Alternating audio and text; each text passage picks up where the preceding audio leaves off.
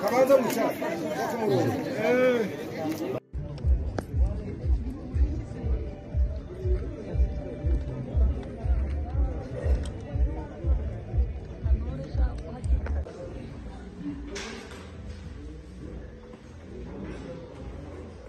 uriya muntu avemo aya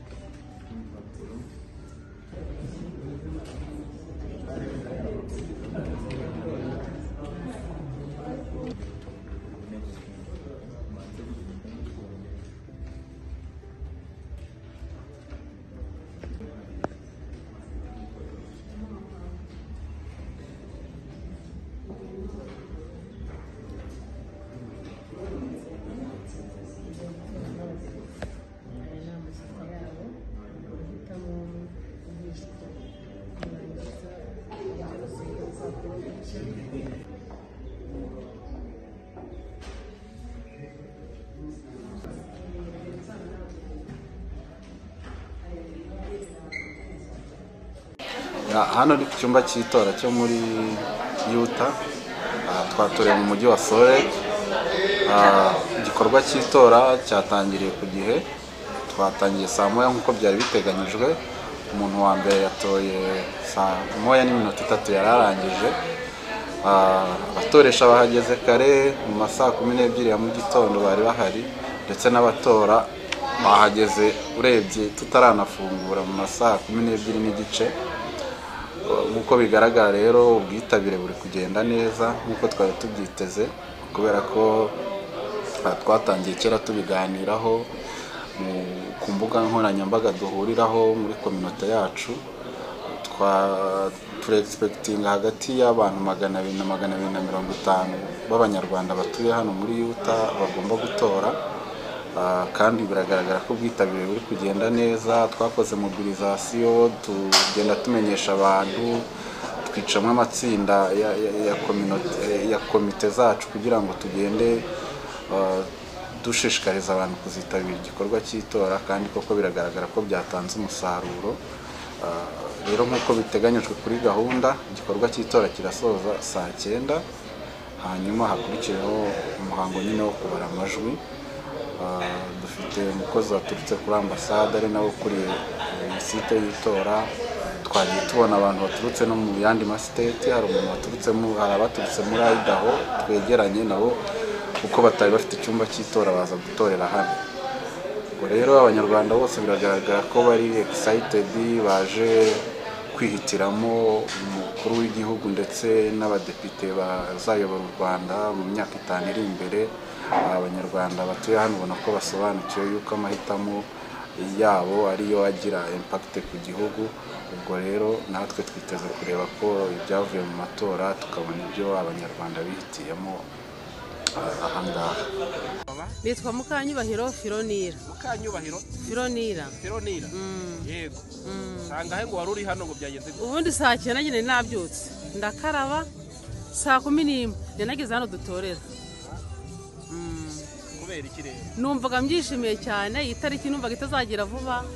Numvaga ari ibintu byaje n'ubu ngubu numva nishimye cyane. Mm, urabona ko iyi tariki iza rimwe mu myaka ingahe?